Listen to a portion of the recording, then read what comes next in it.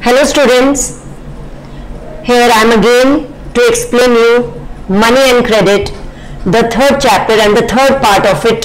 Yesterday we left the topic uh, when we discussed the positive and the negative aspects of credit that credit can play a very positive role in the life of a borrower and it can also play a very negative role in the life of a borrower we also discussed the situation of debt trap in which Swapna find herself in debt trap. It is such a situation which is very painful and from the situation of debt trap, the borrower finds himself or herself in such a situation from where recovery is very very painful or recovery is uh, uh, a bit impossible. So we left the topic over there and then I also started with you the terms of credit. Means uh, when we when we borrow money from the banks from the cooperatives or from the other sources there are certain terms of credit certain conditions which have to be fulfilled while we are borrowing money and I also told you that there are variety of credit arrangements in the countries and particularly in a country like India, there are formal and informal sectors of credit and the terms of credit particularly apply on the formal sector of credit because I told you that there are certain processes and procedures. In your NCERT uh, page 47, 48, 49, 50, 51, 52, all these pages you must go through and they are filled with a variety of credit arrangements. There is a story of Sonpur village where, where Rohit and Ranjan are the two students of class 10th and they have been given a project by their teacher to visit Sonpur village which is a nearby village where farmers are going, they have grown the crops of potato and Rohit and Ranjan are to take their interview that from which sources the different farmers they are availing credit in the Sonpur village. Before that, continue your topic from yesterday's topic that is terms of credit in which I gave you one point and that is collateral. I told you that without collateral banks and the formal sectors will not allow the people or the borrower to borrow money from their uh, institution or from their sector. Collateral is an asset that borrower owns. I told you in the banks it is in the form of LIC policies, savings, uh, FDs etc.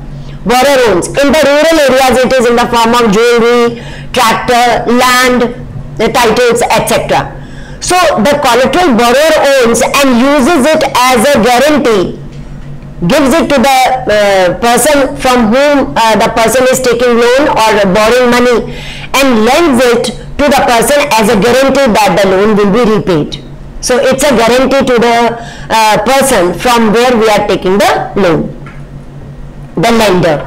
Okay. So this is how it works. So today we are going to learn about the different terms of credit.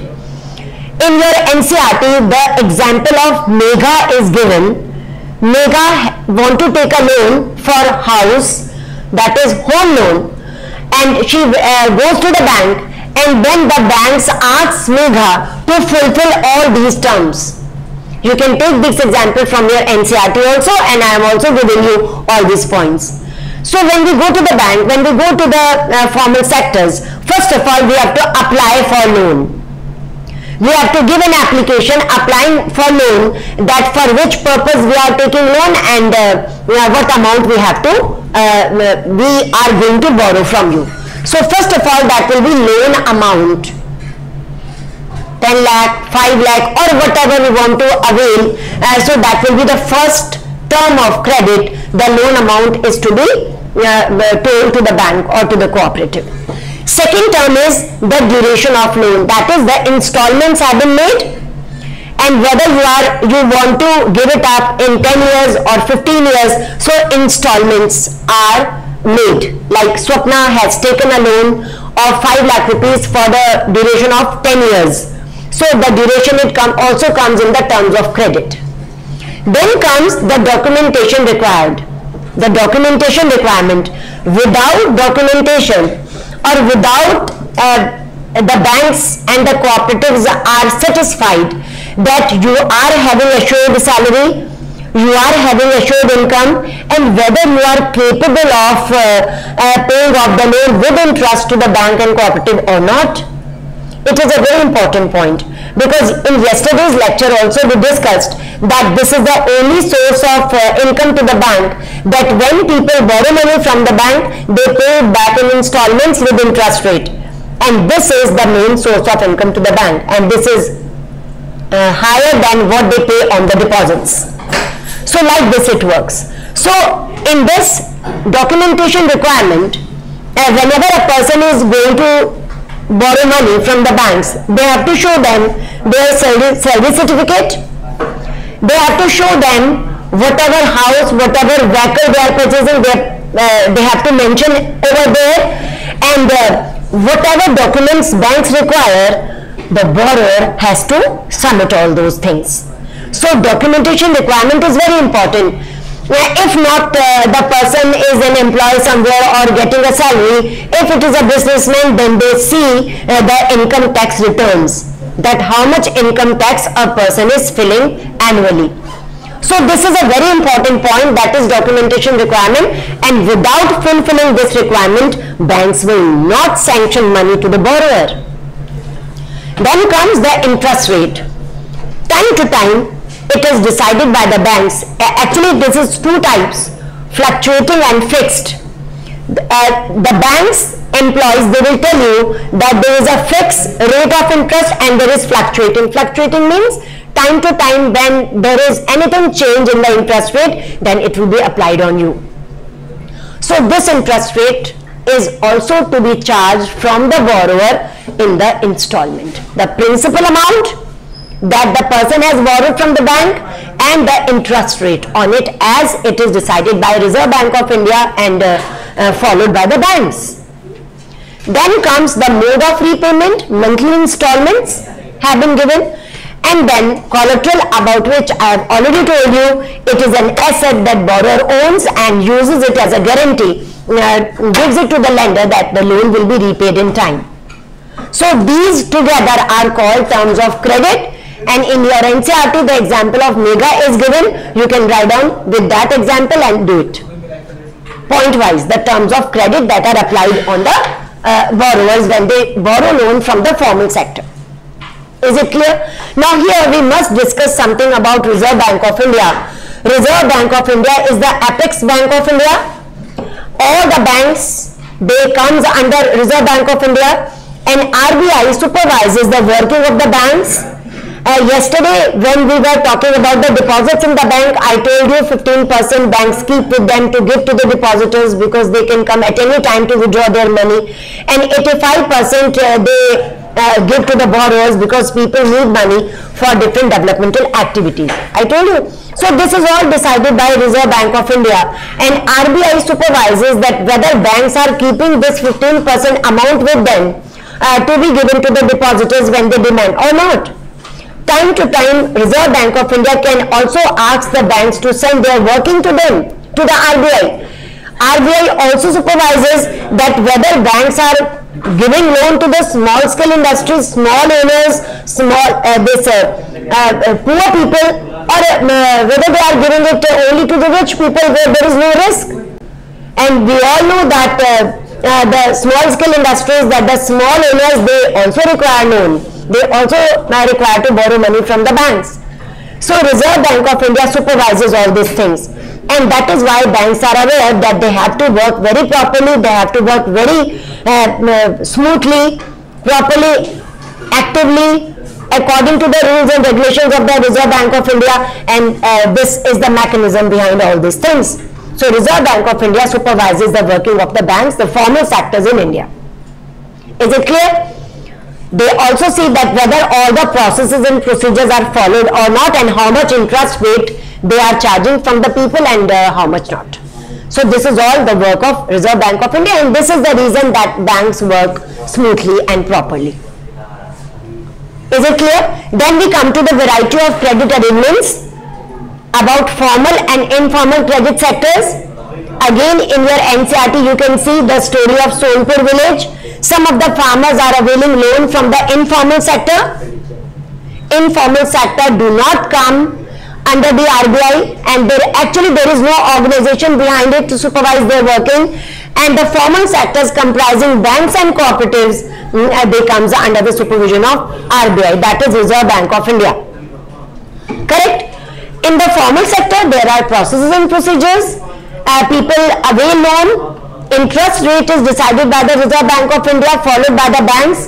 In the informal sector interest rate is decided by the individual persons. For example, in the urban areas there are certain people who lend money uh, mm, on interest rate and they decide on their own. Like in the village Sonpur, uh, you, you will when you will read that uh, paragraph, you will come to know that it is 60% per annum, 36% per annum plus crop in the rural areas and similarly in the urban areas.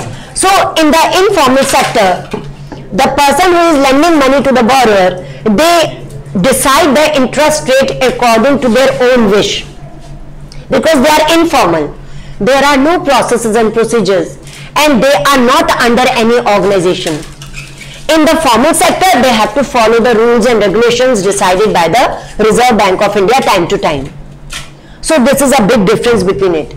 And you will be surprised to know students that most of the uh, credit to the rich people in India is coming from the formal sector and most of the poor people are still dependent on the informal sector like relatives, friends, uh, in the rural areas, landlords, etc., talukdars, etc., they are dependent on them. And I told you it's very costly because interest rate is decided by individuals who are lending money. Why is it so? Because of the lack of collateral. Because rich people have collateral, they can fulfill the formalities of the banks Okay, and I told you that banks will not give money, they will not lend money to the borrower until collateral and the other requirements are fulfilled. In India, mostly people are poor and moreover they are uneducated and they hesitate to go to the banks or formal sectors. So they feel it very convenient, very easy to go to the private people and have money, cash money in hand and they do not know whether what, what will happen in future when they will be unable to pay it back. Remember the example of Swapna which we did yesterday.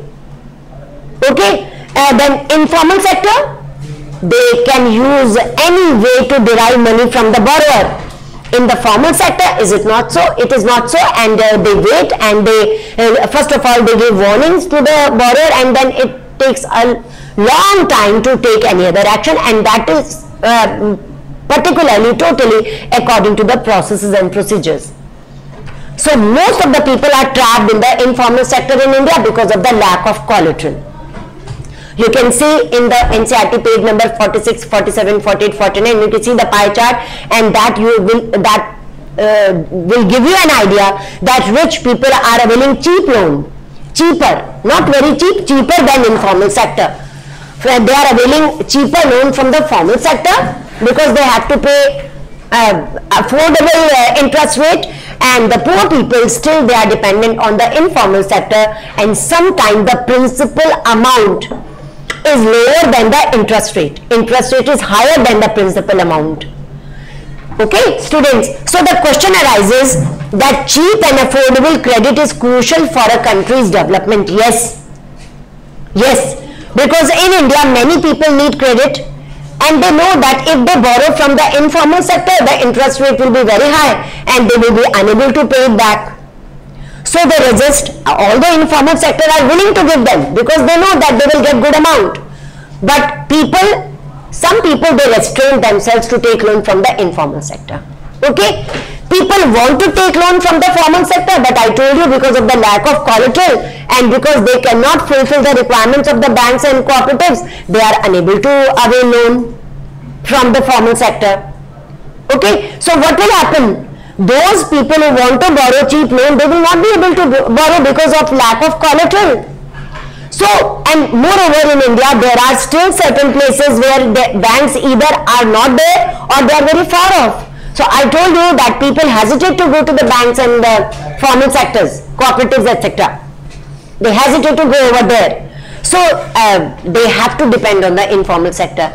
And those who do not have anything, they uh, cannot borrow money from the informal sector because they know it is very costly. They will remain undeveloped. So not only banks and cooperatives should be set up in many places where they are not or where they are very far off, they should be established nearby. And moreover, formal sectors should be given this instruction that there are terms of credit no doubt but there should be some relaxation and collateral demand should be reduced not uh, totally removed but it should be reduced. Then many people will be able to take affordable loan from the formal sectors and the country will develop. So cheap and affordable credit is crucial for a country's development. Is very important very crucial for a country's development if formal sectors reduce their uh, uh, terms and they reduce their collateral demand, then many people will be able to borrow affordable loan from them.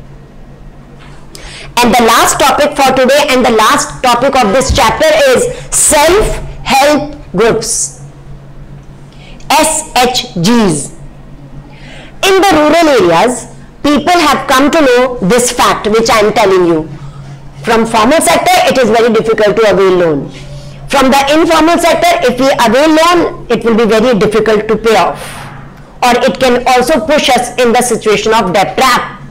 So in the rural areas, people have found out some newer ways to avail cheap loan. What they did, previously it was uh, particularly women and then males also, they were included in it. Previously there were small groups of uh, 20, 15 to 20 members. Now there are bigger groups what they do they sit together and they are particularly from the neighbors neighboring so that they could not they are not forced to go somewhere else. And moreover the lending will be lending and borrowing will be easy. So they are generally from the same neighborhood.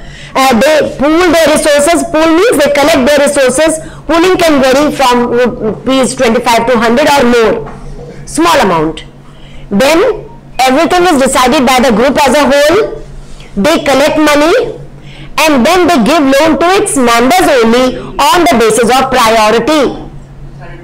Priority means who need it uh, uh, very critically uh, recently. So they give it uh, according to the priority of the uh, members.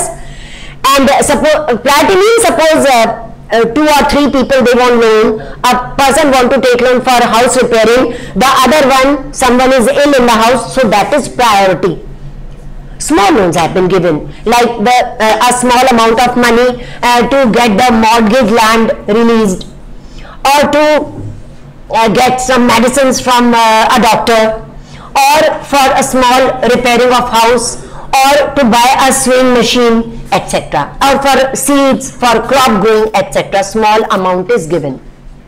And like this uh, one circle of lending is complete the other circle starts interest rate is also charged here. That is a bit higher point something bit higher than the banks but much lower than what is charged by the informal sector. Interest rate here because with interest rate only they will grow. So year after year after lending money to the people and they have it with interest rate uh, the group becomes very sound and then they can purchase a property also and they can avail loan from the bank. A very good example a very new way that uh, people can uh, borrow money also and they will be away from the clutches of the informal sectors. Moreover, self-help groups are the building blocks of the rural poor. they are rightly called the building blocks of the rural poor. Not only they help people financially, but when they sit together, they also discuss their social problems, any problem in the house, uh, home violence or property matter or uh, malnutrition in the children. They discuss all these things and they uh, they decide some something or they make a conclusion that what to do and what not to do. So these are the building blocks of the rural poor, not only helping people financially but socially and economic, uh, socially and uh, culturally also. Okay, so this was the chapter about money and credit. Go through it, make your notes and self-help group make it points that how they are working still they are working in many villages previously they were started by women today even males are involved in it self-help groups and they are really working very well in the rural areas. Okay, thank you students. Have a very nice day.